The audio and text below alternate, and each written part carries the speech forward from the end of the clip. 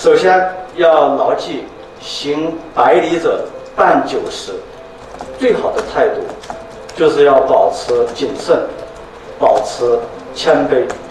所以呢，不到最后的关头啊，任何的松懈麻痹都有可能导致我们前功尽弃。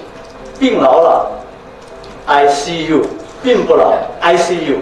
请大家再病一病，再忍一忍。病毒消散之际，骑马踏花，看尽山河之绚烂，所有的美好不及于一时。